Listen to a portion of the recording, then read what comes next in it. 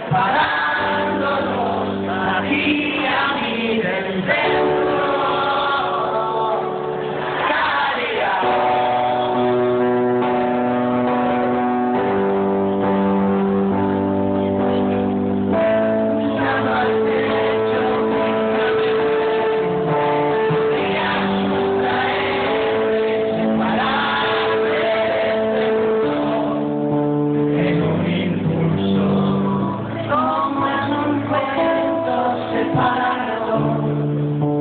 la gravedad del centro, corriendo sin movernos en un...